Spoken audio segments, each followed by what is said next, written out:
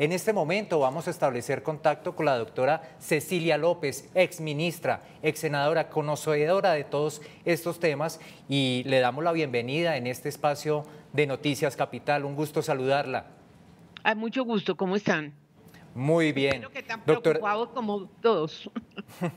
Doctora Cecilia López, eh, ¿qué está pasando en este momento? O sea, todos esperábamos que cuando se hace el llamado por parte del gobierno nacional, esto tendiera de pronto a normalizar la situación, a que de pronto el tema de la protesta social se pudiera aplacar un poco y nos centráramos en este tema del diálogo. ¿Por qué no ha iniciado ese diálogo pues, después de haberse generado tanta expectativa?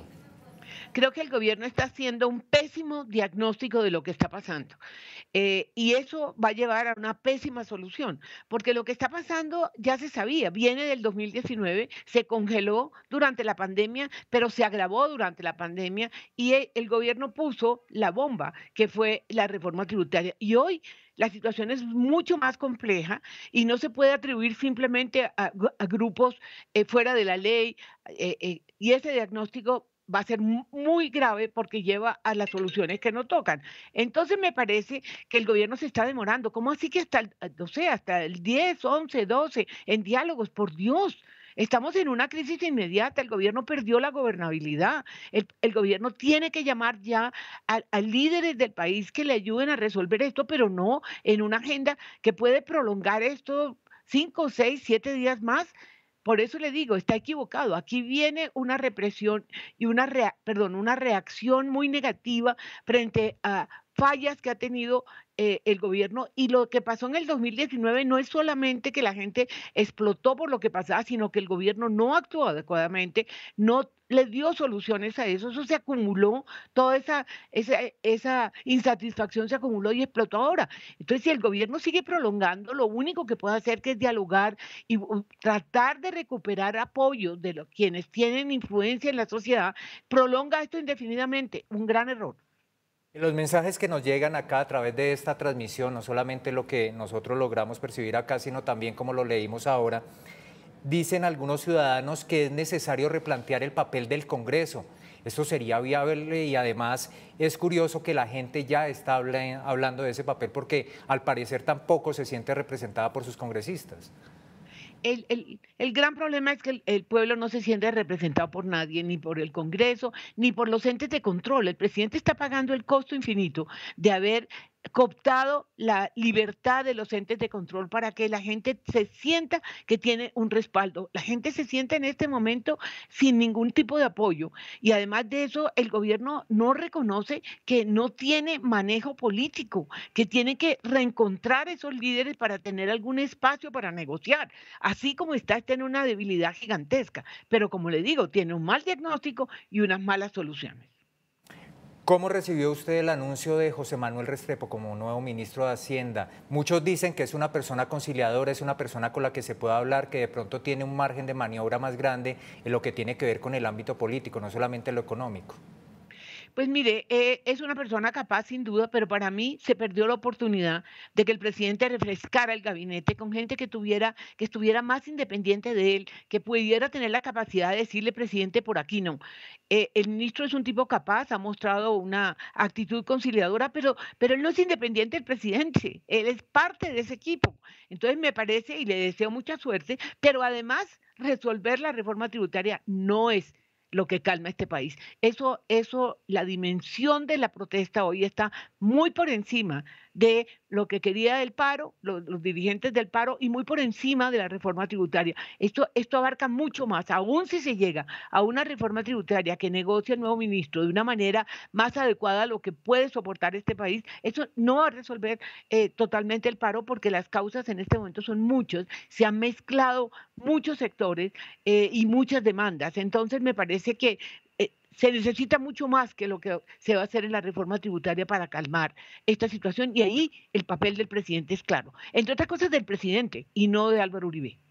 Doctora Cecilia López, usted sabe mucho del oficio de gobierno, ha estado en varios gobiernos. ¿Qué pasaría si de pronto se toma la opción para calmar los ánimos en este momento de decretar una conmoción interior?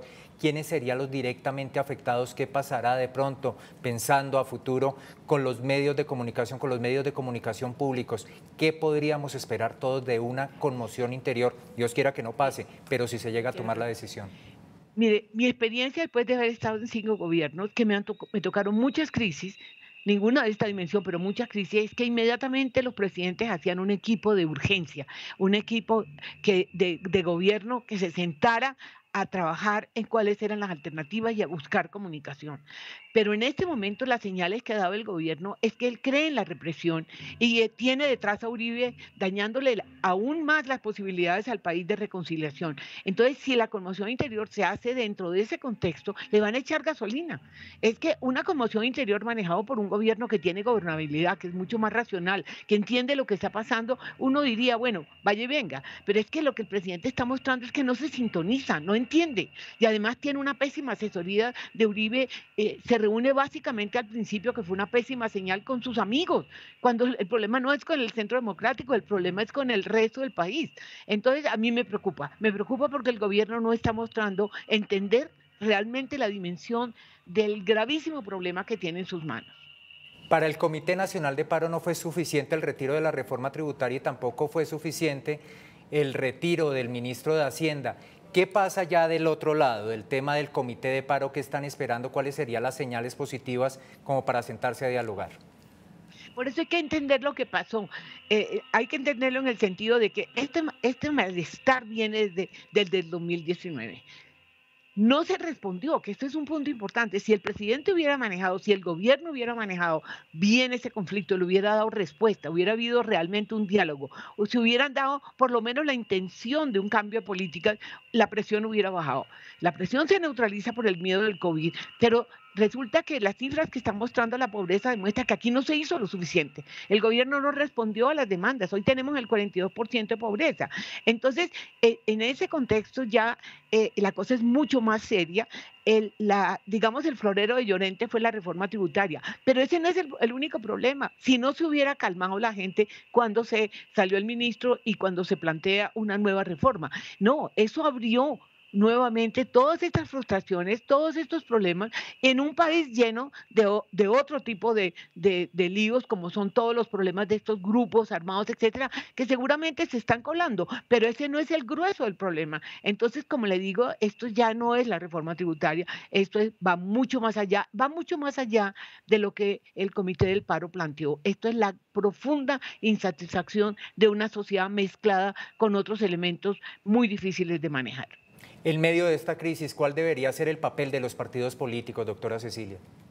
Pues mire, los partidos políticos primero tienen que desprenderse de la campaña. Eh, los partidos políticos y sus jefes, que además estamos en una crisis de jefes de partidos políticos, que tenemos una crisis de liderazgo muy seria, pero ellos lo primero que tienen que hacer es congelar la campaña presidencial. Ese no es el tema, señores. No, no empiecen a jugar sobre sus opciones para el, 2020, eh, al 2022. Eso sería un crimen imperdonable. Ustedes tienen que desprenderse de la campaña política, de lo que les conviene o no les conviene y pensar en el país. Pensar que ustedes tienen un compromiso con sus bases y, y usar su experiencia y su conocimiento de la realidad política para sentarse a orientar al gobierno, al presidente concretamente, que ojalá se desprenda de, de, las asesorías que no convienen dentro del centro democrático. Pero estos grupos políticos tienen que sentarse desprendidos de sus intereses particulares para la campaña del 2022 y pensar en cómo ayudar al gobierno para que entienda lo que está pasando y tome las decisiones más allá de la sola represión, que por ahí no es el camino. No más muertos, por Dios, no más violencia, porque la violencia trae más violencia. Creo que el presidente se está demorando. Esa agenda me parece muy larga, muy mucho eh, durante todo ese tiempo van a pasar muchas cosas. Ya debía empezar a actuar, ya a reunirse con todos los grupos y los grupos distintos, los políticos, los gremios, a quien llame el presidente, mostrar generosidad.